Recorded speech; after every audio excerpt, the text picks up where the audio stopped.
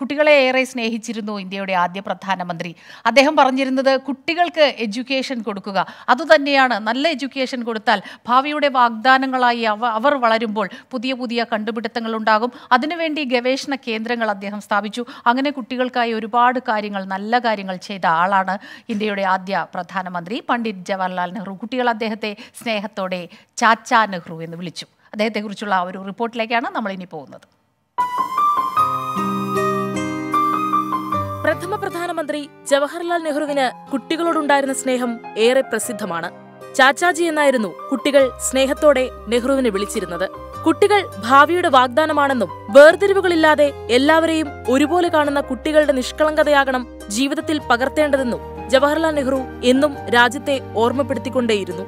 ആയിരത്തി തൊള്ളായിരത്തി അറുപത്തിനാലിൽ നെഹ്റു വിടവാങ്ങിയതിനു ശേഷമാണ് ഇന്ത്യൻ പാർലമെന്റ് നെഹ്റുവിന്റെ ജന്മദിനം ശിശുദിനമായി പ്രഖ്യാപിച്ച് പ്രമേയം പാസാക്കിയത്. കുട്ടികളുടെ ക്ഷേമത്തിനും സ്വാതന്ത്ര്യത്തിനും വിദ്യാഭ്യാസത്തിലും ശ്രദ്ധ കേന്ദ്രീകരിക്കുക എന്നതാണ് ശിശുദിനത്തിന്റെ പ്രധാന ലക്ഷ്യം.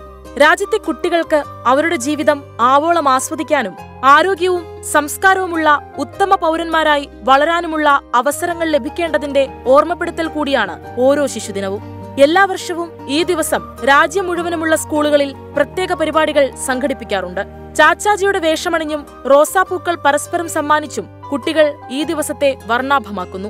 കോവിഡ് മഹാമാരിയുടെ അനിശ്ചിതത്വത്തെ തുടർന്ന് അടച്ചിട്ടിരുന്ന സ്കൂളുകൾ തുറന്നതിന് തൊട്ടു പിന്നാലെയാണ് ഇത്തവണത്തെ ശിശുദിനമെന്നത് ഇരട്ടി മധുരമുള്ളതാക്കുന്നു. Research desk twenty